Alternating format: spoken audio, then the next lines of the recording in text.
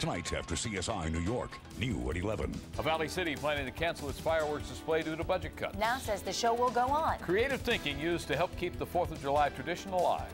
Tonight at 11 on KPSP Local 2 News Nightside.